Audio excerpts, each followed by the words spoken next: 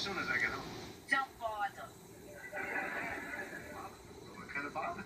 I would prefer it if you didn't. Is anything wrong? It's over, buddy. Done.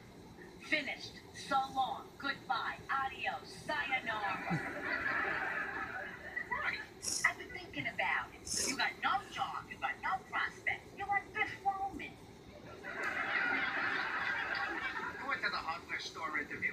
You think I'm gonna spend my life with somebody because he can get me a deal on a box of nails? I thought we were a team. If I ever need a drill bit, I'll call you.